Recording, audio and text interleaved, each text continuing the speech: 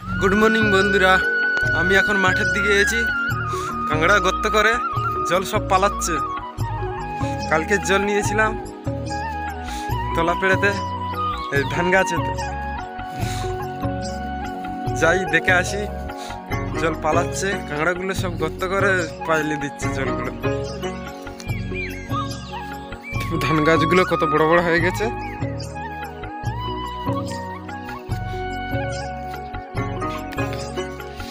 ইঁদুর লাগবে না বলে চিকচিকে কাগজ দিয়ে দিচ্ছে পাখি লাগবে না বলে। বো করে ছাড়া হবে। এই কাঠ জল পড়ছে। এইসব অল্প ছেড়েছে। জল কোথায় পাইলেছে? কালকে জল দিয়েছি, আজকের ফাঁকা। কোথায় কাঁকড়া গর্ত করেছে? আর ওখান থেকে সব পাইলেছে। জল। মাটি দেখা যাচ্ছে। দেখি এবারে কোথায় কাঁকড়া গর্ত করেছে। এই ছোট আলে দেখি, সরু আলে। খুঁজতে খুঁজতে দেখতে পেয়েছি।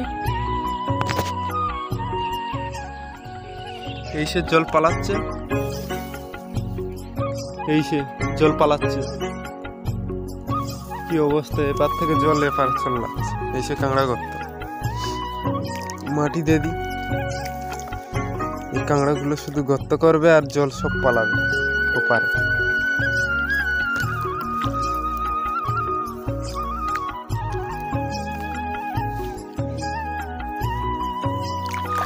মাটি দিয়ে বুঝিয়ে দিছি এরকম করে জল সব চলে যায়।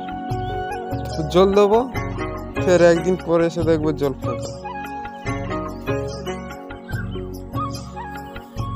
দেখেন ইঁদুরগুলো কেটে কেটে কি করে দিচ্ছে? ধান গাছগুলো খাবে না, শুধু কেটে কেটে নষ্ট করবে। জল দেখা হয়ে গেছে, এবার আমি শাক তুলবো, শাক তুলে বাড়ি যাব। সকালবেলা কুয়াশা সব ভিজে যাচ্ছে।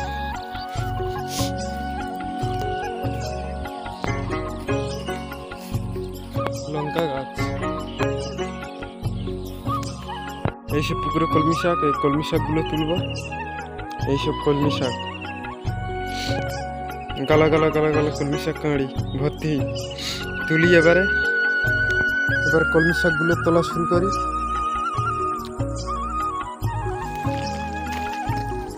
অল্প জল। এরকম ভাবে তুলি, পোকা লেগে যাচ্ছে, তা না হলে বেছে বেছে তুলি।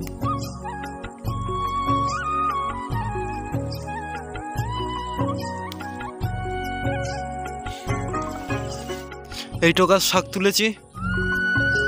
দেখো না, এবারে গামছায় ধরে নিই, গামছায় করে নিয়ে যেতে হবে শাকটা। গামছায় তুলে নিচ্ছি। এবারে চললাই ঘুরিয়ে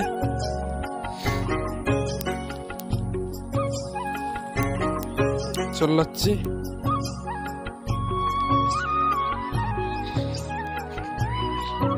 ওইসে হাউস। চললাই এতেও জল নেই, শুকনো। বন্ধুরা, এই ভিডিও ভালো লাগলে লাইক শেয়ার সাবস্ক্রাইব করো।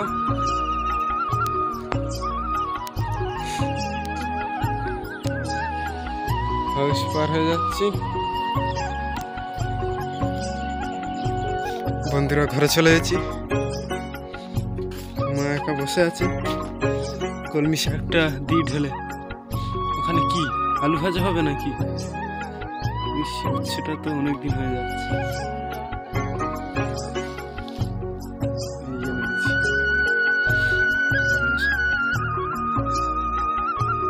কলমি শাক। উচ্ছেটা কি করব?